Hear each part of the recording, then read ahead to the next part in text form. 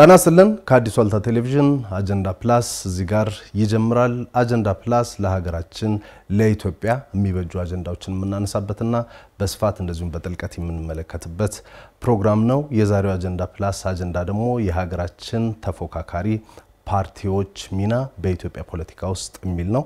ተመልካቾች እንደምታውቁት በሀገራችን የመድብለ ስርዓት ከተዘረጋ የፖለቲካ ፓርቲዎች መቋቋም ከጀመሩም ዓመታት ተቆጥረዋል። ባለፉት ዓመታት በተፎካካሪ ፓርቲዎች ላይ በርካታ ጫናዎች ይደርሱ ነበረ። እስራት፣ እንግልትም ይከተላቸው እንደነበረ ይታወሳል። ለውጡን ተከትሎ ባለፉት አምስት ዓመታት ግን ይህንን በተፎካካሪ ፓርቲዎች ላይ የሚደርሰውን ጫና ለመቀነስ የሕግ ማሻሻያን ጨምሮ በርካታ ስራዎች ተሰርተዋል። ምርጫ ቦርድም በገለልተኛ ወገን እንዲመራ ወይም ደግሞ ገለልተኝነት ባላቸው ታማኒ በሆኑ ሰዎች እንዲመራ ተደርጓል። ባለፈው የስድስተኛው ሀገር አቀፍ ብሔራዊ ምርጫም በተሻለ መልኩ በሚባል ደረጃ እንደተከናወነ ይታወቃል። ከዛ በኋላ ግን የሀገራችን ተፎካካሪ ፓርቲዎች ብዙ እንቅስቃሴ ሲያደርጉ አይታይም። ይሄ ደግሞ የሀገራችን ተፎካካሪ ፓርቲዎች የት ናቸው የሚል ጥያቄ በብዙዎች ዘንድ እንዲነሳ ምክንያት ሆኗል። እናም ዛሬ አጀንዳ ፕላስ ይህንን ጉዳይ በስፋትና በጥልቀት ለመመልከት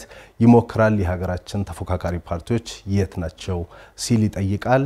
ባለፉት ዓመታት የሀገራችን የተፎካካሪ ፓርቲዎች ምን አይነት ስራዎችን ሰሩ? ምን አይነት ፈተናዎችስ ነበሩባቸው? ከውስጥስ ከውጭስ የሚሉትን ጉዳዮች ለማንሳት እንሞክራለን። ከዛ በተጨማሪም የሀገራችን የፖለቲካ ባህል ምን መልክ አለው? ምን መሻሻል አለበት? በውይይትና በንግግር ወይንም ደግሞ ግጭቶችን በአስወገደ መልኩ ውይይትና ንግግርን ማዕከል ያደረገ ፖለቲካ በሀገራችን እንዲሰፍን ምን መደረግ አለበት የሚለውን ጉዳይ ለማነሳሳት እንሞክራለን። ለማንኛውም ይህንን ሰፋ ያሉ ጉዳዮችን የምናነሳበትን ፕሮግራም እንድትከታተሉ አስቀድመን በአክብሮት እንጋብዛለን። ይህንን ፕሮግራም በመላው ዓለም እንደዚሁም በኢትዮጵያ በአዲስ ዋልታ ቴሌቪዥን ላይ መከታተል ትችላላችሁ። አዲስ አበባና አካባቢዋ ላይ በአዲስ ዋልታ ኤፍኤም 105.3 ላይ ይሄ ፕሮግራም ይተላልፋል። ከዚህ በተጨማሪም በአዲስ ዋልታ የፌስቡክ ገጽ እንደዚሁም የዩቲዩብ ቻናል ላይ ይህንን ፕሮግራም ታገኙታላችሁ።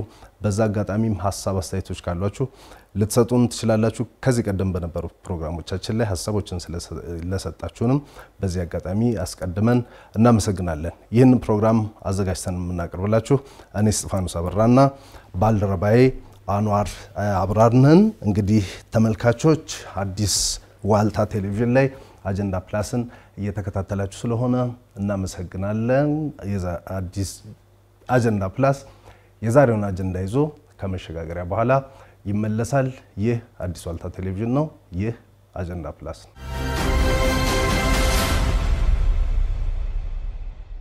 ተመልሰናል ተመልካቾች። አጀንዳ ፕላስን በአዲስ ዋልታ ቴሌቪዥንና በአዲስ ዋልታ የተለያዩ የማህበራዊ ትስስር ገጾች ላይ እየተመለከታችሁ ትገኛላችሁ። የዛሬው አጀንዳ ፕላስ ፕሮግራም አጀንዳ ደግሞ ቀደም ሲል እናስተዋወቅኩት የሀገራችን ተቃዋሚ ፓርቲዎች ሚና በዛሬቱ ኢትዮጵያ የሚል ጥቅል ርዕስ አለው። እሱን መነሻ አድርገን ነው ውይይት የምናደርገው። ለዚህ ደግሞ እንደ ሁሉ ጊዜው ባልደረባዬ አንዋር አብራር እዚህ ይገኛል። አንዋር እንኳን ደህና መጣ። እንኳን ደህና ቆየን።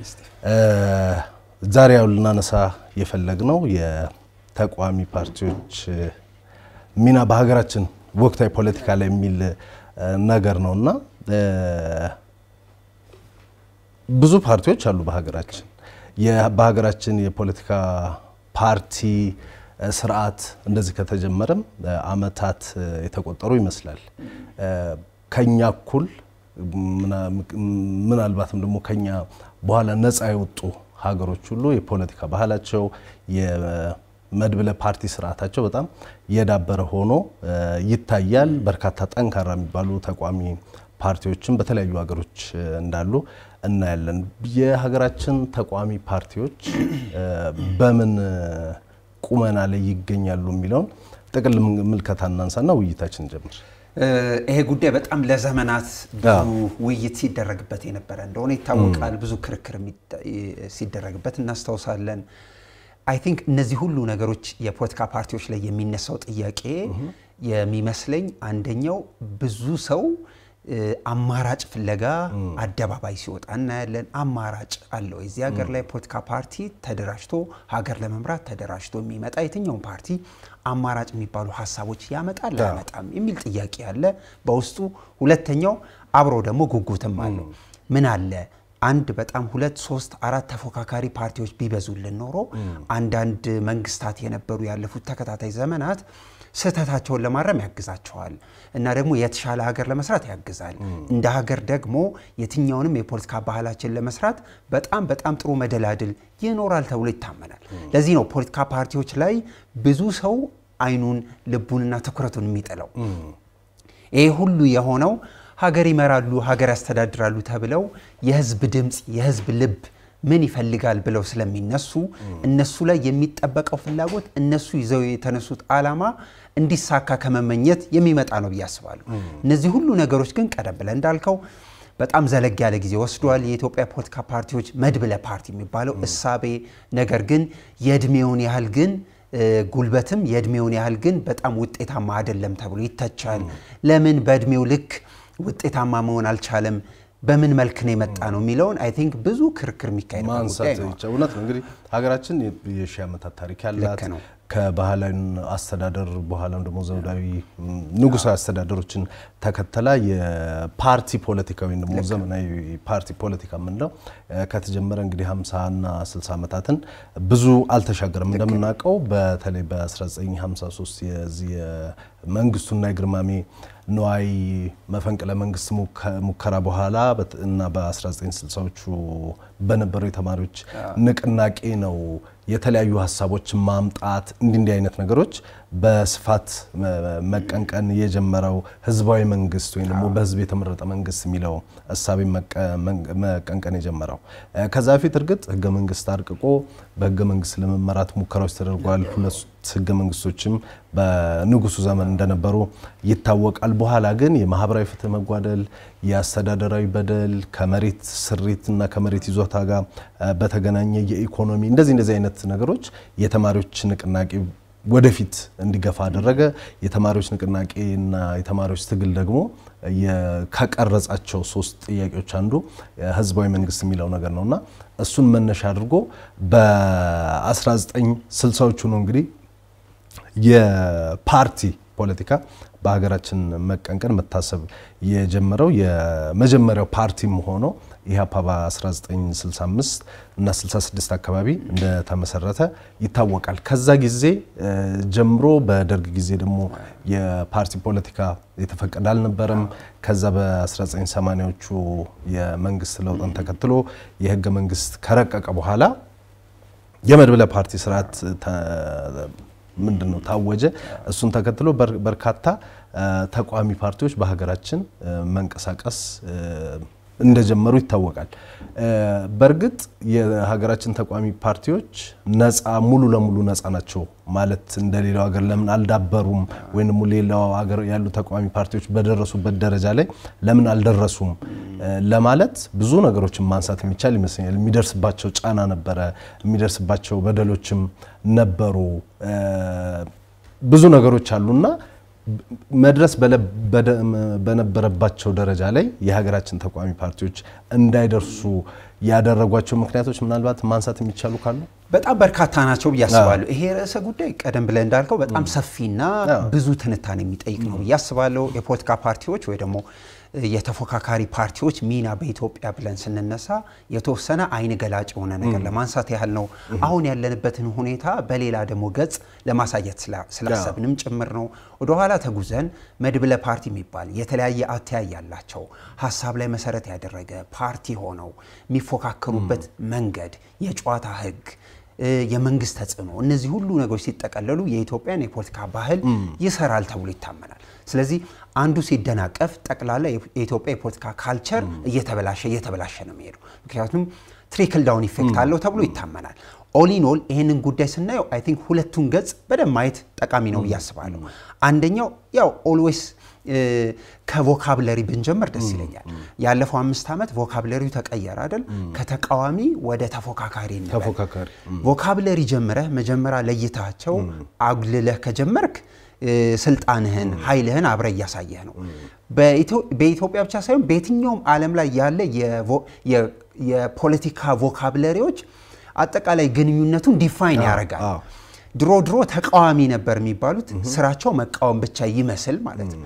አሁን ግን ተፎካካሪ ናቸው፣ አማራጭ አላቸው ተብሎ ይታሰባል። so ከ vocabulary ከቃል ጀምሮ እያረምን ብንሄድ ነገር ለማስተካከል ይመቻል በሚል እሳቤ ነው።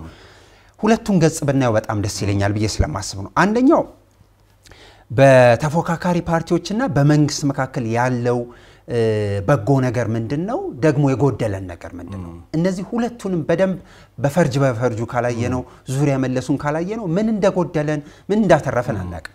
always የምትፎካከረው ስልጣን ላይ ካለ ኃይል ጋር ብቻ ነው። ስለዚህ ስልጣን ላይ ካለው ኃይል ጋር የምትፎካከር ከሆነ የምትፎካከርበት አማራጭ የሆኑ ሀሳቦች፣ አማራጭ የሆኑ ስትራቴጂዎች እንድታመጣ ትገደዳለህ። አንደኛው እሱ ነው ብዬ አስባለሁ። መንግስት ለሚያነሳቸው ጉዳዮች ተቃዋሚ ወይ ደግሞ ተፎካካሪ ፓርቲዎች የሚሰጡት ምላሽ ምንድን ነው? ወይም ደግሞ በተፎካካሪና በመንግስት ወይ ደግሞ ገዢው ፓርቲ መካከል የሚደረግ የትኛውን ግንኙነት የአክሽንና የሪአክሽን ውጤት ነው የሚሆነው። መንግስት ወይ ደግሞ ገዢው ፓርቲ የሚያነሳቸው የትኞቹም ጉዳዮች ተፎካካሪ ፓርቲዎች የሚሰጡት ምላሽ የፖለቲካ ግንኙነቱን ይወስነዋል። የፖለቲካ የተፎካካሪ ፓርቲዎች የሚያነሱትን ጥያቄ ገዢው ፓርቲ የሚመልስበት መንገድ ግንኙነቱን ይወስነዋል።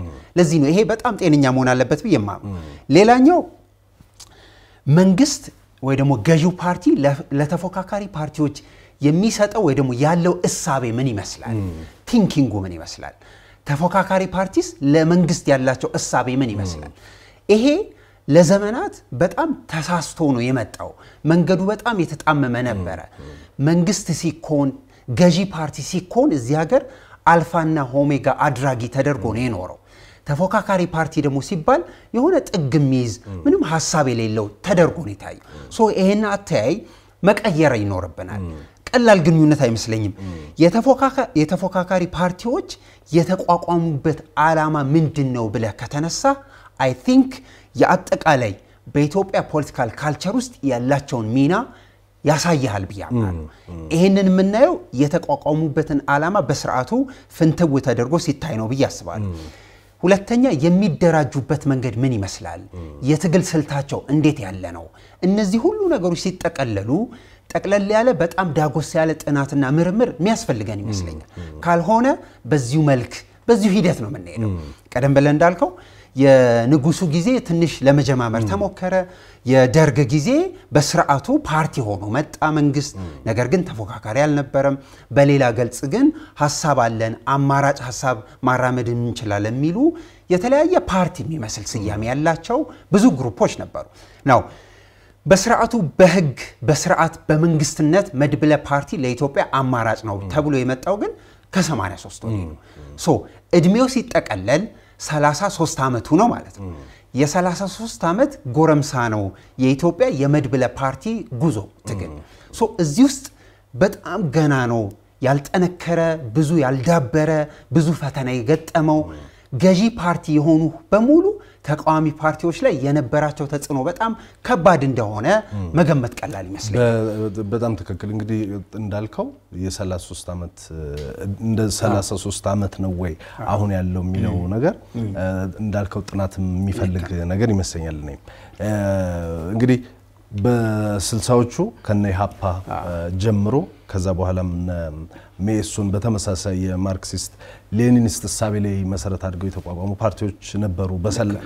በሰላማዊ መንገድ ከመንግስት ጋር ተቀራርበን የሚል አላማን ይዘው ከዛ ደግሞ እንደ ኦነግ እንደ TPLF አይነት ደግሞ የጫካ የትጥቅ መሳሪያ ትግልን የመረጡም ነበሩ። 83ም በኋላ የተቋቋሙት ፓርቲዎች በሁለት መልክ ያላቸው ይመስሉኛል በግሌ። አንዳንዶቹ ዘውግን መሰረት ያደረጉ ብሔርን ማዕከል አድርገው የሚደራጁ ናቸው። ሁለተኞቹ ደግሞ እንግዲህ ኢትዮጵያ ኢትዮጵያዊነት የሚለውን ነገር ማዕቀፍ አድርገው የሚንቀሳቀስ ኢትዮጵያ አንድነት እንደዚህ እንደዚህ የሚሉትን ነገሮች ከዛ በኋላ ግን መፈራረጁ ነበረ። የግራ የቀኝ እንደዚህ እንደዚህ አይነት የሚሉት እሳቤዎች በስፋት ይታዩ ነበረ። ፕሮፌሰር ካሳሁን ብርሃኑ የአዲስ አበባ ዩኒቨርሲቲ political science ምሁር ናቸው። አሁን በህይወት የሉም። እሳቸው ባለፈው ጊዜ አንድ ጥናት አድርገው ነበረ። የኢትዮጵያ ተቃዋሚ ፓርቲዎች ምን ታሪካቸውንና ዋነኛ ችግሮቻቸው ምንድን ናቸው የሚለውን ነገር ለመገምገም ሞክረው ነበርና እንግዲህ ከ1983 በኋላ ነው መድብለ ፓርቲ በሀገራችን የተጀመረው። የመጀመሪያው ምርጫም የተደረገው በ87 ዓመተ ምህረት ነው እና በዛ ጊዜ ገዢው ፓርቲ ወይም ደግሞ በወቅቱ የነበረው ኢህአዴግ 95 ከመቶን ድምፅ ማሸነፍ ችሎ ነበረ። ዘጠና ሁለት ላይ የተወሰነ ሻል ያለ ድምፅ ተቃዋሚዎች ማግኘት ችለው ነበረ። 97 ላይ ግን የምናስታውሰው ነው እኛም በከፍተኛ ሁኔታ ድምፅ ያገኙበት አዲስ አበባን ሙሉ ለሙሉ ማሸነፍ የቻሉበት ከመቶ ምናምን ድምፅ በፓርላማም የተገኘበት ነበረ።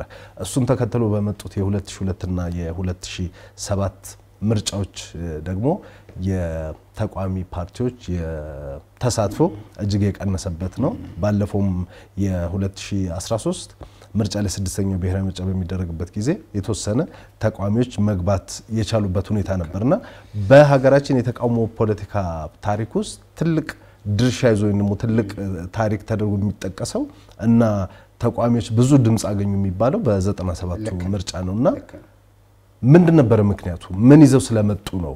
አንዳንዶች መተባበራቸውን በትልቅ ድርሻነት ያነሳሉ። አንዳንዶች ደግሞ በወቅቱ ሲቀሰቀስ ሲቀነቀን የነበረውም ነገር የተሳሳተ ነበረ ብለው የሚያነሱ ሰዎች አሉ። ይሄ የፖለቲካ ባህል ጠልፎ የመጣል ባህል ውስጡ ነበረበት የሚሉም ሰዎች አሉና እንግዲህ የኢትዮጵያን የምርጫና የፖለቲካ ፓርቲዎች ታሪክ ከፍለን እኔ ከተባለ ልንከፍል የምንችለው 97 ላይ ነው። 97 ላይ የተለየ ነገር ተፈጥሮ ነበርና ምን ምክንያቶች አሉ ልልህ ፈልግ። ቀላል ነገር አይደለም።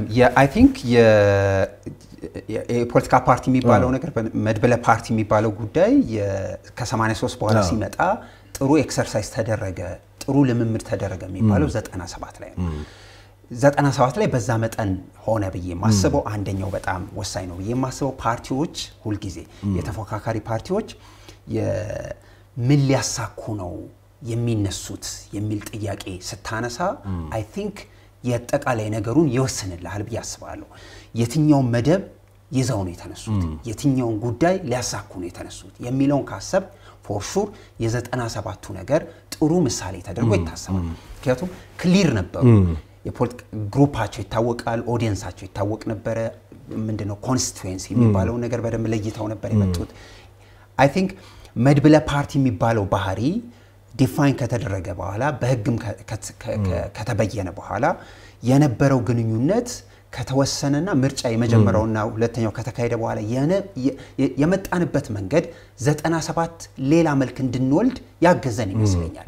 ለምን መሰለህ በዚያ ዘመን 97 በኋላ መድበለ ፓርቲ የሚባለውን ነገር ከመጣ በኋላ ያ መንግስት ያን ካመጣ በኋላ እያንዳንዱ የፖለቲካ ስሪት፣ ideology፣ ሀሳብ የሚባሉት ነገሮች በሙሉ በሆነ አይነት የገዢ ፓርቲ ቁጥጥር ውስጥ ነበር የቆዩ ለዘመናት። እሱ ብዙ ነገርን አፈነ፣ ብዙ ነገርን ምንም እንዳተነፍስ አደረገ።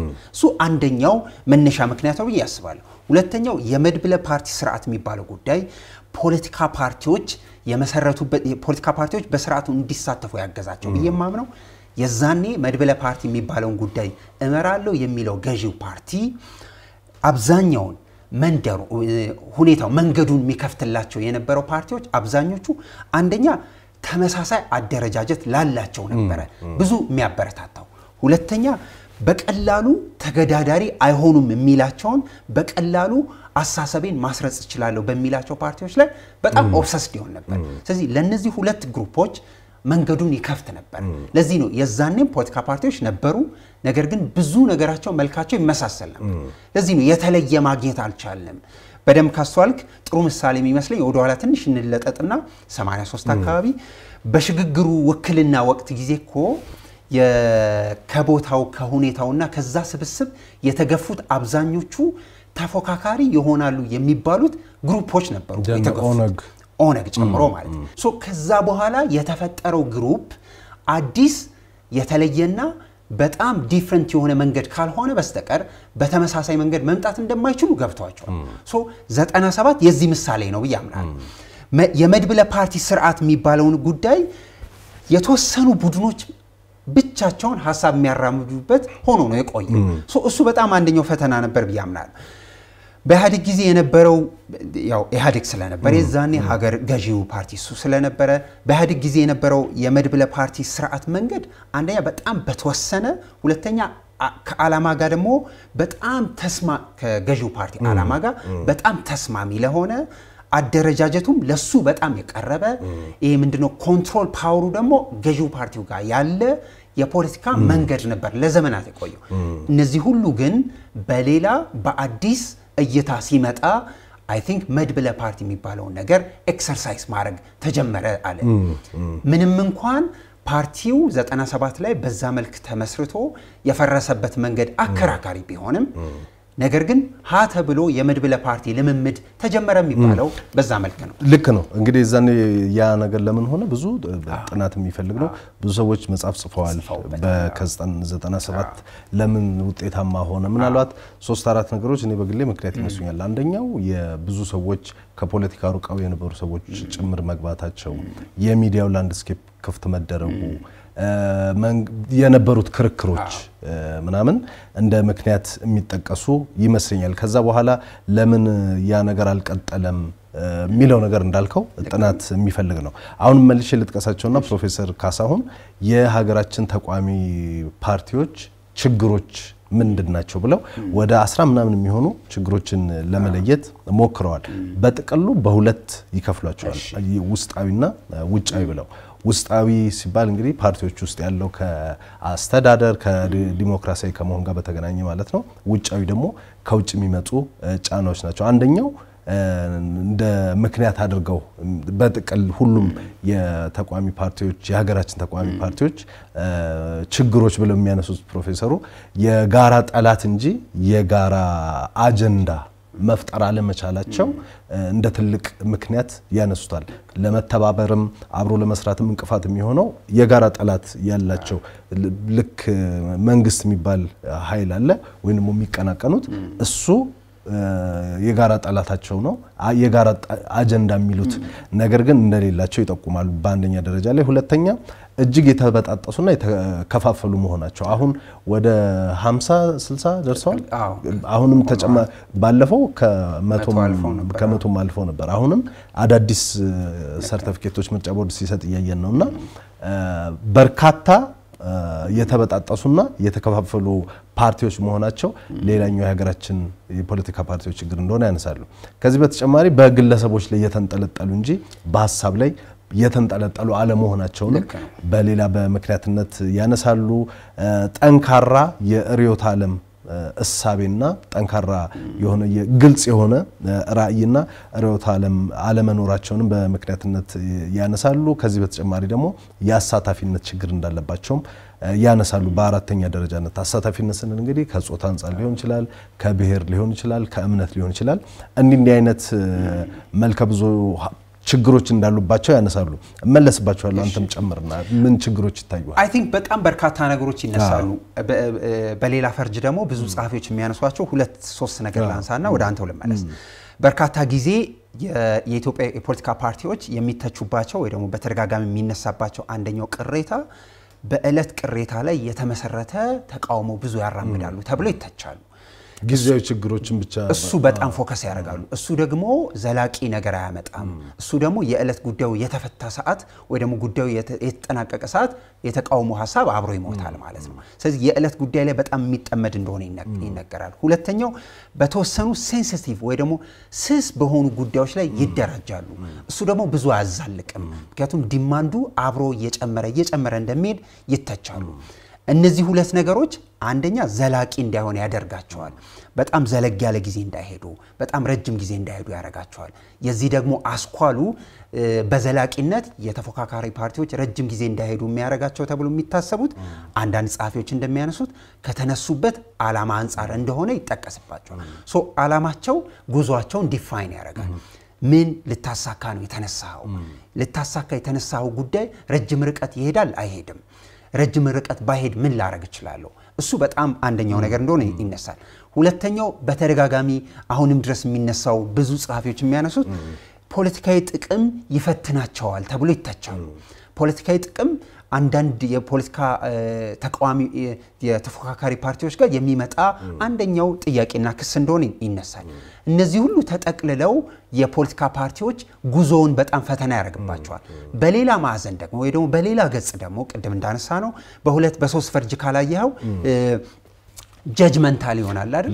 ስለዚህ አንደኛው ፈርጅ ገዢ ፓርቲ ሆኖ የቆየ መንግስት ወይ ደግሞ ገዢ ፓርቲ ሆኖ የኖረ መንግስት ያለፉት ተከታታይ ዓመታት የተፎካካሪ ፓርቲዎችን የሚጫወትበትን ሜዳ የሚናገሩትን ነገር በጣም ባልተገባ ሁኔታ ሲያደናቅፍ፣ ወደፊት እንዳያራምዱ ሲያደርግ፣ አላማቸውን ሲያስት መሀል ገብቶ የራሱን በቦርሳው የራሱ ፖለቲካ ፓርቲ ይዞ ይገባል ይሏቸዋል። አንዳንዴ ሳምሶናይት ፓርቲ ይሏቸዋል። እሱን ይዞ ገዢው ፓርቲ ይገባና የኖረውን ወይ ደግሞ እየተሰራ ያለውን የፖለቲካ ፓርቲ መድብለ ፓርቲ የሚባለውን ጉዳይ ሲያፋልስ ሲበጠብጥ እንደነበረ የሚተች በጣም ብዙ group አለ።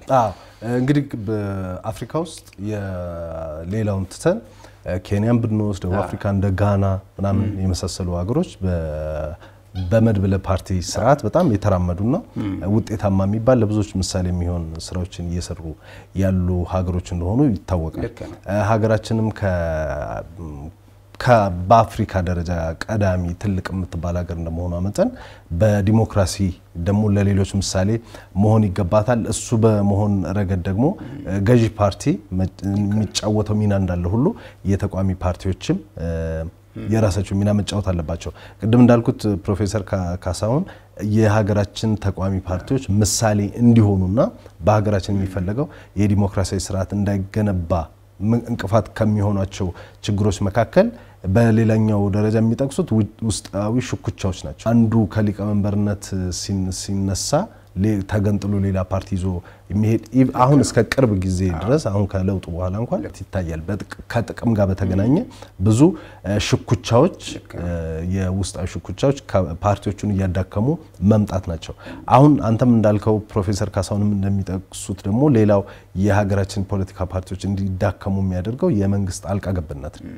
በመንግስት በተለያየ መልኩ ፓርቲዎች ውስጥ ጣልቃ እየገባ የራሱን ሰዎች አስርጎ በማስገባት እነዚህ እነዚህ ፓርቲዎቹ እንዲዳከሙ ውስጣዊ ግጭቶች በስፋት እንዲታዩ የማድረግ ስራ በስፋት ይታያል። ሌላው በህዝቡ ዘንድ ያለው የፍርሃት ድባብ በተለይ ቀደም ባለው ጊዜ በድፍረት ወጥቶ የፖለቲካ ፓርቲ አባል መሆን የዚህ ፓርቲ አባል ነኝ ማለት ወይም ደግሞ ይህንን ፓርቲ መርጣለሁ ብሎ በድፍረት መናገር ብዙ ዋጋ ያስከፍል ነበረ።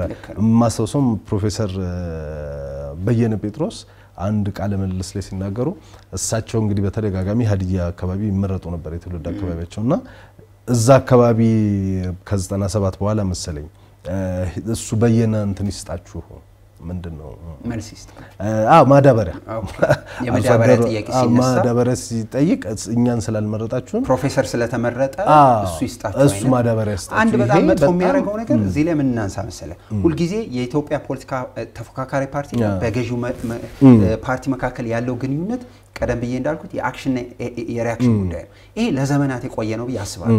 ለምሳሌ ወደኋላ መለስ ብለን መኢሶን የወሰደውን እርምጃ ወይ ደግሞ መኢሶን የወሰደውን action ደርግ የሚሰጠው ምላሽ ኢህአፓ ወይ ደግሞ ደርግ የሚሰጠውን ውሳኔ ወይ ደግሞ action ኢህአፓ ደግሞ የሚሰጠው ምላሽ በሁለቱ መካከል አጠቃላይ ግንኙነቱን ያበላሸዋል። ሁለተኛ ኢህአፓ ቀይ- ቀይ ሽብር ብሎ ሲነሳ ደግሞ ደርግ ነጭ ሽብር ብሎ ይነሳል። በገዢ ፓርቲና በተፎካካሪ ፓርቲዎች መካከል የሚሰጡት የ action ና የ reaction ነገር የኢትዮጵያን የ political culture ጉዞ define አድርጎት ነው የመጣው። ይሄ እስከ ቅርብ ጊዜ የዘለቀ ነው። የኢትዮጵያ መንግስት ያለፉት መንግስት ኢህአዴግ በነበረ ጊዜ ቅንጅት ወይ ደግሞ የሆኑ ትብብር ወይ ደግሞ መድረክ ወይ ደግሞ ህብረት የሚባሉ ፓርቲዎች ሲመጡ እና የተለየ ሀሳብ ሲመጣ ለሚመጡት ፓርቲዎች ለሚመጡት መድበለ ፓርቲዎች የሚሰጠው action የሚመልሰው reaction በጣም መጥፎ ነበረ። እሱ ህዝቡን ወደ ፍርሃት ቆፈን ውስጥ ይከተዋል። ከዛ በኋላ በህዝብና በመድብለ ፓርቲ መካከል ያለውን ግንኙነት መተማመኑን ይበጥሰዋል። እሱን በጥሶት ነው የኖረው። ይኸውልህ እሱ አጠቃላይ የኢትዮጵያ የ political economy ን define አድርጎ ነው የቆየው ብዬ አምናለሁ። አንዳንዱን ነገር ትንሽ ማንሳት የሚያስፈልግ ይመስለኛል። የፖለቲካ ፓርቲዎች እዚህ ሀገር ውስጥ እንዴት ነው ናሬት ሲደረጉ የኖሩት? እንዴት ነው ሲነገርባቸው የኖረው? ይኸውልህ እዚህ ሀገር ውስጥ ያለፉት ተከታታይ ዘመናት ገዢ ፓርቲ ሆኖ ቤተ መንግስት የቆየ የትኛውን ፓርቲ ወይ ደግሞ መንግስት ለህዝቡ ውትወታ ከሚያደርግባቸው ጠዋት ማታ የሚለፍፍባቸው አንደኛው ጉዳይ ተፎካካሪ ወይ ደግሞ ተቃዋሚ ፓርቲ ውስጥ እኮ ደና ሰው አታገኙም፣ ተቃዋሚ ፓርቲ እኮ ደና ሀሳብ ማምጣት አይችሉም የሚል አዲስ በጣም መጥፎ narration ሲሰራ ነው የቆየው። ይህንን counter narration ሲሰራ አልነበረም። ይህን ምን ያደርገዋል መሰለ ህዝብ መራጭ constituency ለተፎካካሪ ፓርቲ ያለውን እሳቤ የተሳሳተ ያደርገዋል። ለዚህ ነው እሱ በጣም ፈተኖናል ብዬ ግን እሱ እንዳለ ሆኖ ብዙ ጫናዎች ይደርሱባቸዋል። ምንም የማይካድ ነገር ነው። ስርዓቱ መዋከቡ የጠፉ ሰዎች አሉ። ልክ ነው። ታስረው ካለ ምክንያት በርካታ ዓመታትን በእስር ያሳለፉ ሰዎች እንዳሉ እናውቃለን። ግን ራሱ ፖለቲካ ፓርቲዎቹ ጋር በምትመጣበት ጊዜ የጠራ አማራጭ ይዞ የመቅረብ ችግር የለባቸውም ወይ? እንደተባለው ከመተባበር ይልቅ መበታተን ሁሉም በግል የመንቀሳቀስ ጥቅሙ በጣም ይጎላል። እሱ እሱ አይነት ነገሮች በስፋት ይታያሉ። የአባላት ጥራትም ታስታውሳለህ? አሁን ከስንት ከወራት በፊት አንድ ፓርቲ ጠቅላላ ጉባኤውን ለማድረግ አሁን ከአራት ወር ከአምስት ወር በፊት ጠቅላላ ጉባኤውን ለማድረግ አባላቶቹን ልክ ባይሆንም የጎዳና ተዳዳሪዎችን እንደ አባላት አድርጎ አስፈርሙ ብሎ ምርጫ ቦርድ ሪፖርት አውጥቶበት ታግዶ ሁሉ ነበረ። ከቀናት በፊትም አንድ ፓርቲ ወደ 2.7 ሚሊዮን ብር ከምርጫ ቦርድ በድጎማ የወሰደውን ገንዘብ ለግል ጥቅማቸው አመራሮቹ ለግል ጥቅማቸው አዋሉት የሚል ዜና ራሱ ምርጫ ቦርድ አውጥቶ ነበረ። ስለዚህ እንደዚህ አይነት የተደበላለቀ ነገር መኖር ሰላማዊ ሰላማዊ የሆነ ትግል ከማካሄድ ይልቅ ሁለቱም ቦታ የመሆን በዚህ በኩል ሰላማዊ ትግል፣ በዛ በኩል ደግሞ ሰላማዊ ያልሆነ ትግል ውስጥ እንቅስቃሴ ማድረግ ነገሮችን በስፋት ይታያሉ። እዚህ ፓርቲ ውስጥ የነበሩ ሰላማዊ ትግል እናደርጋለን ሲሉ የነበሩ ሰዎች በሌላ ቦታም የተገኙበት አጋጣሚዎች አሉና እሱ መንግስት የሚያደርስባቸው ጫናዎች እንዳለ ሆኖ ውስጥ ግን ራሳቸው ጋዝ ከአማራጭ ጥራት አንድ ቦታ ሆኖ እዚኛውም እዛኛው ጋር የመሆን ፓርቲን ሀገር መለወጫ ለህዝብ መጥቀሚያ ሳይሆን ለግል መጠቀሚያ የሚያደርጉ ፖለቲከኞችን አላየንም ወይ? ምንም definitely ትክክል ነው። የውልህ እዚህ ጋር የሚመጣው ቀደም ብለን ያነሳ ነው የመጣንበት trend የመጣንበት culture መጥፎ የፖለቲካ ፓርቲ ጉዞ ባህል አርጎብናል። የቱ ጋር ጥፋት ተሳሳትን? ምን ዋና ዋና አንጓዎች የኢትዮጵያን የፖለቲካ ጉዞ አበላሹት? የኢትዮጵያ የተፎካካሪ ፓርቲዎች እሳቤ የቱ ጋር ተሳሳተ የሚለውን background ለመስጠት ነው እየሞከርን ያለ። ይሄ ግን ማለት የፖለቲካ ፓርቲዎች ከመጠየቅ ይድናሉ ማለት አይደለም። አንዳንዱን ነገር ከራሳቸው ጋር በር ዘግተው የሚነጋገሩባቸው ጉዳዮች ናቸው። ለምን መሰለ የኢትዮጵያ የተፎካካሪ ፓርቲዎች የት ነው ያሉት ብለህ ነው ገና መግቢያ ላይ ጠየቁ። ይሄ የሚነሳው የሚመስለኝ ምን ሊያሳኩ ተነሱ ነው የመጀመሪያው ጥያቄ። ልታሳካ የምትነሳውን ርዕሰ ጉዳይ ካላወቅከውና ካልገባህ መንገድን ስተሃል ማለት ነው። እነዚህ ነገሮች ሲጠቀለሉ የኢትዮጵያ ፖለቲካ ፓርቲ ሲቋቋም ዓላማው ሁለት ነው ብዬ አስባለሁ። አንደኛ ለሚወክለው ማህበረሰብ ወይ ደግሞ ለሚወክለው ማህበረሰብ ክፍል ጥብቅና እቆማለሁ፣ ሲጎዳ ጥብቅና እቆማለሁ፣ ልማቱንም ላይ አብሬ አፋጥናለሁ፣ ከመንግስትም ጋር የሚያገናኘውን መስመር እዘረጋለሁ። እነዚህን ሁሉ ሰብስቦ በስርዓቱ እንደ ሀገር ለኮንስቲቱንሲው ነው የሚቆመው። አንደኛው እሱ ነው። ሁለተኛው የተፎካካሪ ፖለቲካ ፓርቲ ነው። ምርጫ ይመጣል፣ ይወዳደርና ይሸነፋል። ከተሸነፈ በኋላ ለምንድን ነው ነፍስ የሚያጣው? ለምን ህይወት ያጣል? አንዳንድ ጸሐፊዎች ምን ይላሉ? የኢትዮጵያ የተፎካካሪ ፓርቲዎች ከምርጫ በኋላ ስልጣን ወይ ደግሞ power ከሌለ exist አያረጉም ይባላሉ። ከስልጣን ውጭ የኢትዮጵያ ፖለቲካ ፓርቲ exist ማድረጉን ማረጋገጥ የሚችል የፖለቲካ ፓርቲ እንጠብቃለን። ሁለተኛው okay ምርጫ መጣ፣ ተፎካካሪ ፓርቲ ነህ፣ ሀሳብ አመጣ፣ ወደክ፣ ያሸነፈ ገዢ ፓርቲ አለ። ከዛ በኋላ ሁለተኛው የቤት ስራ ሁለተኛው ዓላማ ብዬ የማምነው መንግስት ካስቀመጣቸው የፖለቲካ ፓርቲ ፉክክር ጊዜ፣ ውይይት ጊዜ ካስቀመጣቸው የፖሊሲ ጉዳዮች፣ የህዝብ ጥቅሞች አደርጋቸዋለሁ እፈጽማቸዋለሁ ያላቸውን ሀሳቦች፣ ጉዳዮች እግር በእግር እየተከታተልክ ስትሪክትሊ መግራት አለብህ ኃይሉን። ምክንያቱም ስልጣን ነው። ከኃይሉ ላይገራ ይችላል፣ ስርዓት ሊያጣ ይችላል። አንተ ደግሞ ተፎካክረህ መጥተሃል፣ ተሸንፈሃል። ትመጣና ወክልና ህዝብ ጋር ነው። ወክልና የራስ constituency አለ። ስለዚህ መንግስትን ከመስመሩ እንዳይወጣ የገባውን ቃል ተግባራዊ እንዲያደርግ ወደ መስመር እንዲገባ ወይም ደግሞ የሚገራ power የሚገራ ኃይል መሆን አለብህ። ካልሆነማ አይሳካም። አንዳንድ ጊዜ በምርጫ ጊዜ የገዢ ፓርቲ ነኝ የሚል ሁሉም የማይሳካ ቅዠት የሆነ ሀሳብ ሊያወራ ይችላል። አንተ ደግሞ ተፎካካሪ ፓርቲ ነህ። እሱን መዝግበህ ከተሸነፍክ በኋላ ይህን እኮ እሰራለሁ ብለህ ነበረ ነው ማትሰራው የሚል ገዢ ወደዛ ካልገባን መጥፎ ነው የሚሆነው። ነጥብም ማስቆጠር የምትችለው በዛ ነው። definitely እንግዲህ የሀገራችን ተቃዋሚ ፓርቲዎች በዚህ ደረጃ እንዲመጡ በተለይ ባለፉት አምስት ዓመታት መንግስት የፖለቲካ ፓርቲዎች የተሻለ ቁመና ላይ እንዲይዙና ቅድም ስጠቅሳቸው እንደነበረው መንግስትን የሚተቹ አቅጣጫ የሚያሳዩ መስመር የሚያሳዩ ከመስመር ሲወጣም የሚያስተካክሉ እንዲሆኑ የተሰሩ ስራዎች አሉ። ሌላም ምን መጨመር እንችላለን? ባለፉት ዓመታት መንግስት የፖለቲካ ፓርቲዎችን ለማጠናከር የሰራቸው ስራዎች የገንዘብ የምናምን እንዳለ ሆነዋል። ሶስት በጣም ወሳኝ ነገሮች አዲስ ካልቸር እየመጣ ነው ብዬ የፖለቲካ ፓርቲዎች የጋራ ምክር ቤት ኖረ እዚህ ሀገር ላይ። ሌላ ሀገር ላይ ጥሩ ምሳሌ የሚነሳው ኬንያ ነው። የፖለቲካ ፓርቲዎች የጋራ ምክር ቤት አለ። ኬንያ በጣም strong ነው የጋራ ምክር ቤቱ። ይሄ የጋራ ምክር ቤት በአዋጅ ነው የተቋቋመው። ፓርቲው ወይ ደግሞ ፓርቲዎቹ ኬንያ ውስጥ ያለ የትኛውን ፖለቲካ ፓርቲ ነኝ የሚል በሙሉ እዚህ የጋራ ምክር ቤት ውስጥ አባል ነው። ይሄ የጋራ ምክር ቤት ለመንግስት የተሳሳተውን ፖሊሲ ነው recommend የሚያደርገው አንድ፣ ሁለት የሚካሄድበትን መንገድ እንዲያስተካክል አንድ ደግሞ የወደፊቱን define እንዲያደርግ የሚያስባቸውን ነገሮች በሙሉ ይሰበስባል፣ ያጠናል፣ ጽሁፍ ይጽፍና ለፓርላማው ነው የሚልከው። ፓርላማው እሱን ያይና ይወስድና የሚጠቅመውን ወደ ተግባር ያደርጋል። ይህን ደግሞ በፖሊሲ ደረጃ በእይታ በርዕዮተ ዓለም ደረጃ አልስማማም ካለ ይተወዋል። እዚህ ውስጥ ምን አረገ ማለት ነው? ፖለቲካ ፓርቲዎች ተመርጠው ፓርላማ ባይገቡም ተመርጠው መንግስት ባይሆኑም ተሳተፉ። አሁን ያለፉት ተከታታይ አምስታት የተፈጠረው ይሄ አደረጃጀት የፖለቲካ ፓርቲዎች የጋራ ምክር ቤት ውስጥ ገዢው ፓርቲ አሁን ያለው ብልጽግና አንድ አባል ነው። እንደ አንድ የፖለቲካ ፓርቲ አባል ይሳተፋል፣ ሀሳብ ይሰጣል፣ ይከራከራል። ተጽዕኖ ማሳደር አይችልም። ምክንያቱም የጋራ ምክር ቤቱ ብዙ ፖለቲካ ፓርቲ ነው ያለው። ህዝብ ይዘው አይደለም የሚሄዱት፣ ውክልናቸው ፖለቲካ ፓርቲያቸውን ይዘው ነው የሚሄዱት። so የሀሳብ ፍጭት አለ ማለት ነው። እዚህ ሀሳብ ፍጭት ውስጥ ቀስ እያለ አዲስ trend ይሰራል።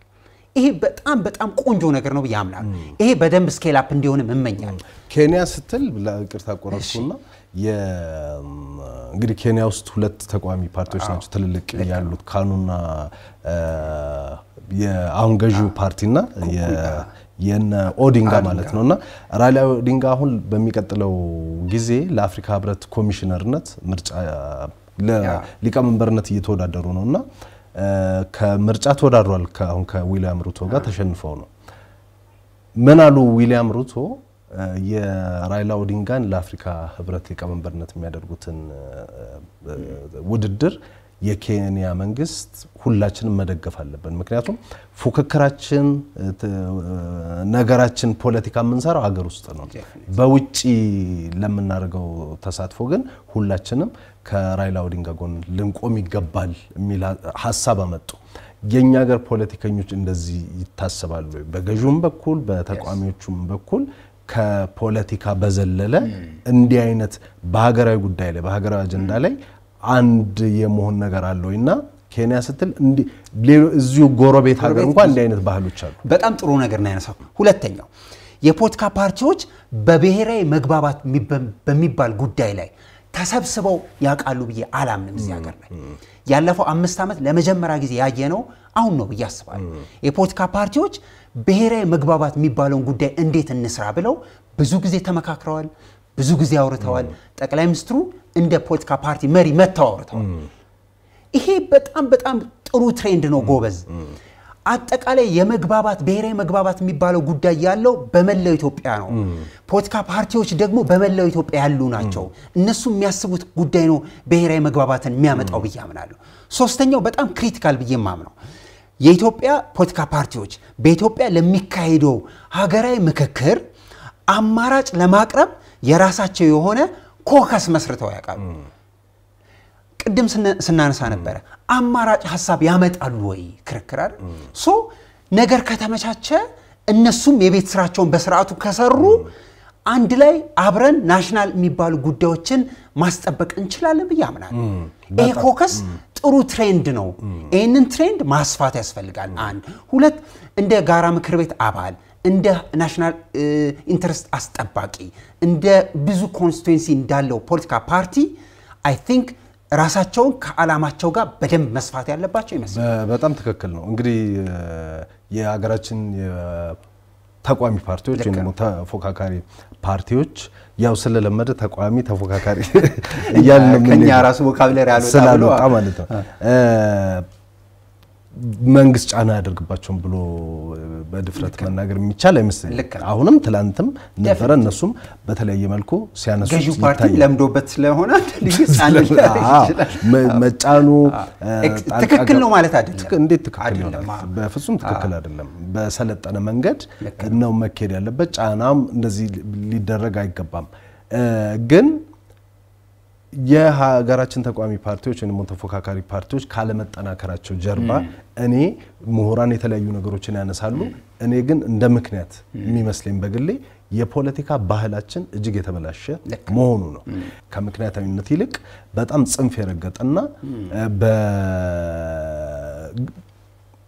ባሉባልታ፣ በሴራ ትንተና፣ በምናምን የሚቃኝ ፖለቲካ ነው ያለን። የግለሰቦችን ስም በማጠልሸት መፍትሄ ይዞ ከመምጣት ይልቅ መፍትሄ አያቀርብም። የቀረበውን መፍትሄ ግን ሲተች ታያለ። ስለዚህ የሀገራችን የፖለቲካ ፓርቲዎች ጠንክረው እንዳይወጡ አሁን እንዳልነው ኬንያ፣ ደቡብ አፍሪካ፣ ሌሎች ሌሎች አካባቢዎች እንደምናያቸው ጠንካራ ተቋሚ ካለ እኮ ጠንካራ መንግስት ነው የሚኖረው። ጠንካራ መንግስት ካለ ደግሞ ብዙ ስራዎች ይሰራሉ። እኛ ሀገር ግን እንደሱ አይነት ነገሮችን እንመለከታለን ወይ? በጣም ጽንፍ የረገጠ አይደለም ወይ የሀገራችን ፖለቲካ? አማራጭ አሁንም አማራጭ የሚያቀርቡ ፓርቲዎች የሉም ሊባል አይችልም። ብዙ ፓርቲዎች አሉ፣ የተሻለ አማራጮችን ይዘው ሲወጡ የምናያቸው፣ ሰነድ ይዘው ሲወጡ የምናያቸው። ለምሳሌ ስም መጥቀስ ተገቢ ይሁን አይሁን ባላቅም አሁን ኢዜማ የተለያዩ ፖሊሲዎች አማራጮች አሉኝ እንደዚህ በመሬት በእንትን እያለ የተተነተኑ ፖሊሲዎችን ይዞ ሲመጣ እናያለን። ሌሎቹ ጋር ግን እሱ ነገሮች እናያለን ወይ? በጅምላ ፍረጃ አይደለም ወይ ያለው? ጽንፈኝነት አይደለም ወይ ያለው? ለሀሳብ ልዩነት ቦታ የሚሰጥ ባህል ነው ወይ ያለን? ለምሳሌ አንድ ሰው የእንትን ፓርቲ አባል መሆን ይችላል፣ የእንትንም ፓርቲ አባል መሆን ይችላል፣ የሌላም ፓርቲ አባል መሆን ይችላል። ግን እንደሱ ነው ወይ የምናየው? የተለየ ሀሳብ የያዘን ሰው ባንዳ፣ ጠላት፣ መጥፋት አለበት መወገድ አለበት የሚል አይደለም ወይ? አሁንስ ባህላችን አሁንም ልክ እንደ 1960ዎቹና ምናምን ፍለጠው፣ ቁረጠው፣ ደምስሰው ከሚል ወጥቷሉ የፖለቲካ ባህላችን እና ተቃዋሚ ፓርቲዎች የሚገባቸው ሚና ለመጫወት አሁንም ከዚህ አስተሳሰብ ከዚህ እሳቤ መውጣት የለባቸውም ወይ? ቅድም እንዳልነው መንግስት የሚያደርሰው ጫና ገዢው ፓርቲ የሚያስከትልባቸው በደሎች እንደተጠበቁ ሆነው እራሳቸው ውስጥ የ mentality የ mindset ችግር የለም። ቀደም ብለን እንደዘረዘርነው ሁለት በጣም foundational ችግሮች እዚህ ቅርቃር ውስጥ የከተታቸው ይመስለኛል የኢትዮጵያ የፖለቲካ ፓርቲ ጉዞ ላይ። አንደኛው ቀደም ብለን እንዳልነው የዕለት ጉዳይ ላይ በጣም ይጠመዳሉ። ለምሳሌ ከገዢው ፓርቲ መሪ ጋር የሆኑ አይነት አለመግባባቶች ካሉ እሱ የፖለቲካ ፓርቲ አጀንዳ ሆኖ ይቆያል። እሱ ብዙ አያዘልቅም። እሱ የተወውለት ሀሳብህ ዓላማ አብሮ ይከሽፋል። እሱ ብዙ አያዛልቀን። ሁለተኛ በጣም ስስ የሆኑ ጎኖቻችንን የኢትዮጵያውያን ስሱ የሆኑ ፓርቲዎቻችንን ይዘው የፖለቲካ ፓርቲ ማራመድ ብዙ የሚያዋጣን አይደለም። ምክንያቱም ብዙ ከስረናል ያለፈው ዘመናት። ቀደም ብለህ እንዳልከው ግፋ በለው ሂድ የሚለው እሳቤ በዚህ ሀገር እንደ ፖለቲካ ፓርቲ የትጥቅ ትግልን ወይ ደግሞ ብረት ተኮር ስትራቴጂን በቃን ወደ ሰላማዊ ትግል እንገባለን የሚሉ ብዙ ፖለቲካ ፓርቲዎች አይተናል። በተመሳሳይ ቀላል የማይባሉ ደግሞ እሱን መንገድ አሁንም የመረጡ አሉ። ብዙ የሚያዋጣን አይደለም ጉዳዩ፣ ምክንያቱም ከስረን ስለመጣ። ጥሩ ምሳሌ ተደርጎ የሚታሰበው ኢህአዴግ በነበረ ጊዜ ሙሉ ፓርቲው ሙሉ አደረጃጀቱ ይሄ ማለት የፖለቲካ wing ኡም የ military wing ኡም ጫካ የሚገባበት ዘመን ነበር። ጥሩ ምሳሌ ግንቦት ሰባት፣ ጥሩ ምሳሌ ኦነግ፣ political structure ኡ elite group ኡ የፖለቲካ ፓርቲው እሱም ይገባል ጫካ፣ የ military wing ኡ እሱም ይገባል ጫካ። እንደዚህ ነው የኖርነው። አሁን ተመሳሳይ pattern እናያለን። እሱ ብዙ አያዛልቀንም። ያለፈው አምስት ዓመት እንደ ሀገር political culture ኡ ተቀየረ ተብሎ የሚታሰበው የሚነገርለት እጥፋት ከአብዮት ወደ ሪፎርም ነው የመጣነው። ይሄ ከባድ በፖለቲካ ቋንቋ ትልቅ shift ነው ተብሎ ይነገራል። now ከአብዮት ወደ reform shift ያደረገው የፖለቲካ culture ቀጥሎ የመጣው ምንድነው? by default election ነው። ሁልጊዜ ከሪፎርም ቀጥሎ የሚመጣው election ነው። ምክንያቱም ሪፎርም የሚጸናው በምርጫ ነው። ከምርጫ ቀጥሎ የሚመጣው በጣም ስርዓት ያለው መንግስት ነው የሚመጣው። ይህንን trend ማስቀጠል የምንችለው ቀደም እንዳልነው ግፋ በለው ሂድ በለው በሚለው እሳቤ አይደለም። የትም እንደማዛልቅ ስላየን በየ ነው። ይኸውልህ ማለት እረዳለሁ። የኢትዮጵያ የተፎካካሪ ፓርቲዎች ቀደም ብዬ እንዳልኩት አይጠቅሙም፣ ብዙ አያዋጡም፣ ጥሩ ሰው አታገኙም በውስጡ ሲደራጁም ቶሎ ይፈርሳሉ የሚል narration ነበር። I think ያለፈው አምስት ዓመት ይሄ እሳቤ ይሄ narration የፈረሰ ይመስለኛል። በውስጣቸው በጣም ጎበዞች እንዳሉ ስልጣን ላይ ሆነው አሳይተዋል። አሁን ስልጣን ላይ ያሉት ሰዎች አብዛኞቹ for sure በእኔ እምነት ማድረግ አለባቸውን ብዬ የማምነው ከብልጽግና ፓርቲ ጋር አይደለም ሀሳቡ። ሀሳቡ national interest የሚባል አለ፣ ሀገር የሚመራበት ብልጽግና ፓርቲ ሀገር እመራበታለሁ ያለውን የዛኔ በምርጫ ክርክር የተናገራቸውን ጉዳዮች በሙሉ ፈጽመዋል አልፈጸመም። እሱም እዛ ሆኖ ይፈጽመዋል ያረገዋል። ምክንያቱም ጉዳዩ ሀገሩ ወደ ተሻለ political economy shift ማድረግ ስላለበት። ይህ ሲጠቀለል ሀሳብ የኢትዮጵያ የፖለቲካ ቋንቋ ካልሆነ በስተቀር የሀሳብ ትግል የኢትዮጵያ የፖለቲካ ፓርቲዎች ንግግር ካልሆነ በስተቀር የፖለቲካ ፓርቲ የአክቲቪስት ስራ የሚሰሩ ሰዎች የሚመጡበት ቦታ አይደለም።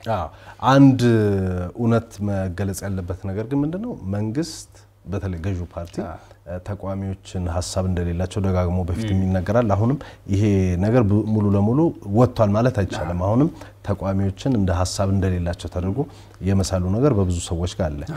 ተቃዋሚዎች ጋም በምንሄድበት ጊዜ ከነሱ አማራጭ ውጭ፣ ከነሱ መፍትሄ ውጭ፣ ከነሱ ሀሳብ ውጭ ገዢው ፓርቲ ጋር ያለ ሀሳብ አይዋጥላቸውም።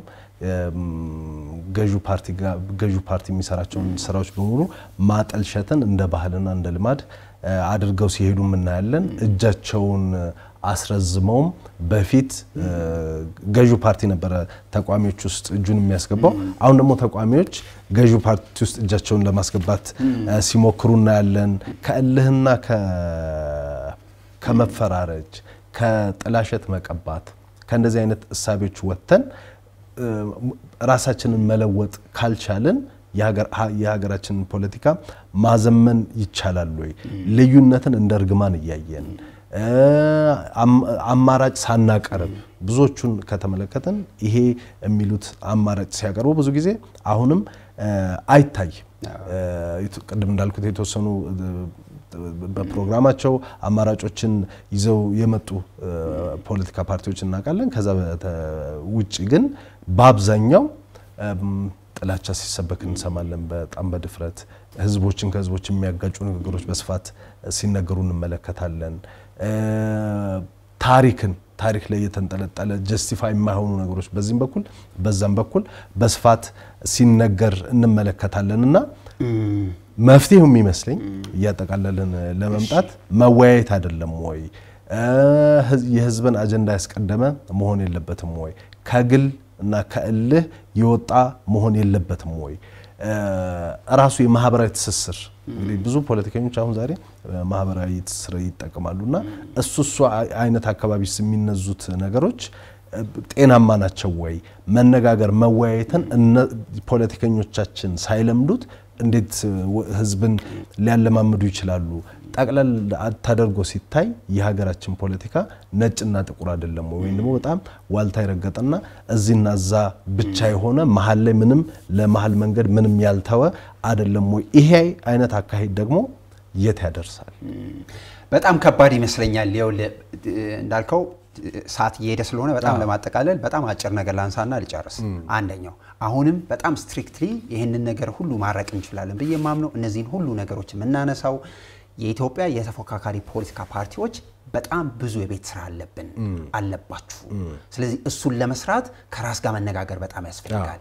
የተነሳበትን ዓላማ የምታሳካበት በጣም ዘለግ ያለ በጣም ረዘም ያለ ስትራቴጂ ያስፈልጋል። ምክንያቱም ultimately ሀገር ለመምራት ultimately ስልጣን ከያዘ ፓርቲ ጋር ነው የምትፎካከረው። ስለዚህ በጣም ትልቁን ስዕል the bigger picture ማየት በጣም ጠቃሚ ነው። ሁለተኛው ይህን ደግሞ ማሳካት ይቻላል ብዬ የማምነው የኢትዮጵያ የፖለቲካ ፓርቲዎች የጋራ ምክር ቤትን በጣም በስርዓቱ functional ካረግነው ልክ እንደ ኬንያ በጣም effective መሆን ይችላል ብዬ አስባለሁ። አሁን trend ኡ ተጀምሯል። ከማኩረፍ ከመጣላት የአይን ቀለም አላማረኝም ከመባባል ይህንን ምክር ቤት በጣም በጥሩ mood ይዘነው ብንሄድ በጣም ጥሩ ነው ብዬ አስባለሁ። ሌላኛው ግን አስተዋጽኦ ሳላደርግም አሁን ግጭቶች የተለያዩ አካባቢዎች ግጭቶች ይታያሉ። ልክ ነው። በግልጽ ለመናገር አማራ ክልል ውስጥም ኦሮሚያ ክልል ውስጥም ግጭቶች አሉና የሀገራችን ተቃዋሚ ፓርቲዎች በዛ ደረጃ የበቁና የነቁ ጠንካራ ለመሆናቸው ሰዎች ሌላ አማራጭን እንዲወስዱ አላደረገም ወይ? እነሱ ጠንካራ ቢሆኑና ጉዳዩ በጠረጴዛ የሀሳብ ትግል ባህሉ ዳብሮ ቢሆን ኖሮ መንግስትም ይሄንን ነገር አመቻችቶ ቢሆን ኖሮ ዛሬ የሚተኮሱትን ነገሮች መቀነስ አይቻልም ወይ ልልህ። ጠቅለል ተደርጎ ፖለቲካ ፓርቲ ከሆንክ አላማ ምንድን ነው ነው ምን ልታሳካ ነው የተነሳው? priorly ቀደም ብለን እንዳልነው የዕለት ጉዳይና የዕለት አጀንዳ ልታሳካ ነው የተነሳው ወይስ ስስ የሆነውን የኢትዮጵያውያን ጎን ይዘህ የሀገሩን ትርምስ ለመቀጠል ነው? እሱ ከሆነ የኢትዮጵያን የፖለቲካ ፓርቲ የኢትዮጵያን የፖለቲካ culture totally በፊት ከነበረው ወደ መጥፎ ትገፋዋል። ብዙ ስለማያዛልቅ ቀደም ብለን እንዳልነው የፖለቲካ wing ኡም የ military wing ኡም ፖለቲካ ፓርቲ ሆኖ ጫካ የሚገባበት ሀገር ነው ያለው አሁንም ጭምር። ስለዚህ ይሄ በጣም መጥፎ trend ነው። ኪሳራችንን አይተናል። በቅርብ ጊዜ የሰሜኑ ጦርነት እኮ የዚህ አንዱ ተቀጽላ ፖለቲካ ፓርቲ ነው፣ ሀገር ሲያስተዳድር የነበረ ነው ምናምን፣ ግን ጫካ ይገባል። political structure ኡ መሳሪያ ያዘውም ይገባል። so ምንድን ነው የምታደርገው? ለዚህ ነው ይሄን trend የምናቆመው መቼ ነው? ከአብዮት ወደ reform shift እኮ ሲደረግ ይሄን ለማቆም ይመስለኛል። የመንግስት የቤት ስራ በጣም ወፈር ያለ ነው። ይሄንን በህግ በስርዓት እሱም የሆነ ነገር ሆደ ሰፊ ሆኖ የሚሄድበትን መንገድ በጣም ማበጀት አለበት። ሲጠቀለል በእኔ ድምዳሜ በጣም ጥሩ የፖለቲካ trend መስራት ይኖርብናል። responsible መሆን አለብን። እድል ግን እንስጠው ለዚህ trend ቀደም ብለን እንዳልነው ፖለቲካ ፓርቲዎች የጋራ ምክር ቤት በለው የብሔራዊ መግባባት የሚባል ጉዳይ ለማውራት የሚሞከረው በለው ከመንግስት ጋር ያለው ግንኙነት በለው መንግስት ውስጥ የገቡ የፖለቲካ ፓርቲዎችን በለው ይህን ሁሉ አንዳች አይነት አዲስ የፖለቲካ pattern ውስጥ እንዳለን ያሳያል። ይሄ pattern ዘላቂና በጣም sustainable እንዲሆን ግን የተቃዋሚ ፓርቲዎች ወይ ደግሞ የተፎካካሪ ፓርቲዎችም የመንግስትም የቤት ስራ በጣም ዳጎስ ያለ እውነት ነው። እንግዲህ ተፎካካሪ ፓርቲዎች የራሳቸው ሚና አላቸው። መንግስትም ተፎካካሪ ፓርቲዎች ጠንክረው እንዲወጡ አማራጭን ይዘው እንዲወጡ የራሱን ስራ መስራት አለበት። ሀገራችን በሀገራችን የተለያዩ አካባቢዎች የሚታዩ ችግሮችም አንድም መነጋገርን መወያየትን ማስቀደም ባለመቻላችን በዚህ መጓዝ ኢትዮጵያዊ የሆነ የትኛውን ቦታ ላይ ያለ ይገባዋል? አይገባውም አይገባውም። በፍጹም በፍጹም ከሱ መውጣት ነው ያለብን። እሱን ደግሞ ማድረግ የምንችለው ገዢው ፓርቲ ስለተጠናከረ ብቻ ሳይሆን ተቃዋሚ ፓርቲዎችም ስለተጠናከሩ ነው። ነገሮች በስርዓትና በደርዙ በወጉ መሆን ሲችሉ ነው። የአንድ የገብረ ህይወት ባይከዳኝ እንግዲህ ትልቅ ፈላስፋም ናቸው።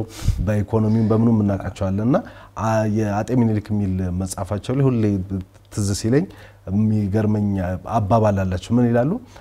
ስለ ስርዓትና በወግ ስለመሆን ለመምከር ማለት ነው። አእምሮ የሌለው ህዝብ ስርዓት የለውም ይላሉ። ስርዓት የኃይልና የጉልበት ምንጭ ደግሞ ስርዓት ነው እንጂ የሰራዊት ብዛት አይደለም። ስርዓት ከሌለው ሰፊ መንግስት በህግና በስርዓት የምትኖር ትንሽ ከተማ ሙያ ትሰራለች ይላሉ። ስለዚህ በህግ እና በስርዓት መኖር እንግዲህ እዚህ ውስጥ ማለት የፈለጉት የሚመስለኝ መነጋገር፣ መወያየት፣ በስርዓት ነገሮችን ማየት፣ ዛሬን ሳይሆን ነገን ታሳቢ ያደረገ አካሄድ መሄድ የለውጦች ሁሉ ጅማሮ ነው የሚል ነገር ይመስለኛል እዚህ መልእክት ውስጥ ማስተላለፍ የፈለጉት እኔ በግል የምረዳው እና ተቃዋሚ ፓርቲዎች በዚህ ረገድ የት ናቸው ብለን ስንጠይቅ ነበረ። ብዙ ነገሮች በሀገራችን ውስጥ እየሆኑ ነው። መንግስት ብዙ ነገሮችን እያደረገ ነው። ሰላም እንዲህ እንዲህ አይነት ነገሮች የምንላቸውን ነገሮች ለማምጣት በዛ ሂደት ውስጥ ተቃዋሚ ፓርቲዎችም ድጋፍ መስጠት ያለባቸው ይመስለኛል። አንድ ሁለተኛ ነገር ደግሞ አሁንም ተቃዋሚ ፓርቲዎች ውስጥ ሆነው ሌላ አይነት ፍላጎት ሌላ አይነት አዝማሚያ አንድ እግርን እዚህ አንድ እግርን እዛ አድርጎ የመማተር አይነት አላማም ያላቸው ሰዎች ያሉ ይመስለኛል እና ከዚህ ካልወጣን ሀገራችንን ወደፊት ማራመድ አንችልም። እልህና ግብግብ ሱዳንን የት እንዳደረሳት ትልቅ ምሳሌ ሊሆነን ይገባል በሚለው ብናጠቃልለው ምን ይመስላል? ገብረሕይወት ባይከዳኝ የሰጡት ድምዳሜና ማረፊያ የውይይታችን በጣም አስኳል ስለሆነ በዚሁ እናጠናቀቅ። በጣም ደስ ይላል። አኗር በጣም ነው የማመሰግነው። ተመልካቾች አጀንዳ ፕላስን በአዲስ ዋልታ ቴሌቪዥንና በአዲስ ዋልታ የተለያዩ ማህበራዊ ትስስር ገጾች ላይ ስትመለከቱ ነበረ። የሀገራችን ተቃዋሚ ፓርቲዎች የት ናቸው ወይም ምን እየሰሩ ነው የሚለውን ጉዳይ መነሻ አድርገን ይህንን የመሰለ ውይይት አድርገናል። ውይይታችን እዚህም እዛም የረገጠና ብዙ ሀሳቦችን ለመጫር እንጂ ብዙ ነገሮችን ያነሳንበት ነው ብለን አናምንም። እናንተ ሀሳብ ልትጨምሩበት ትችላላችሁ። ካነሳናቸው ሀሳቦች ጋር ልትስማሙም ላትስማሙ ትችላላችሁ። በምትሰጡን አስተያየቶች ግን ለፕሮግራማችን ግብዓት ስለሚሆኑን ከሀገራችን ተቃዋሚ ወይም ደግሞ ተፎካካሪ ፓርቲዎች ጋር ያሉ ያሉ ችግሮች ምን ይመስላችኋል፣ ከመንግስት እስከ ያሉ ችግሮች ምን ይመስላችኋል የሚሉትን ጉዳዮች በሀሳብ መስጫ ሳጥን ላይ አድርጉም። በዚህ ውይይት ላይ መሳተፍ የምትፈልጉ ሰዎችም ካላችሁ በዝግጅት ክፍላችን ሁልጊዜ ክፍት እንደሆነ ለመግለጽ እንፈልጋለን። ለማንኛውም አብራችሁን ስለቆያችሁ በጣም እናመሰግናለን። አጀንዳ ፕላስ በሚቀጥለው ጊዜ ሌላ አጀንዳ ይዞ ይመለሳል። እስከዛው በያላችሁበት መልካም ጊዜ ይሆንላችሁ።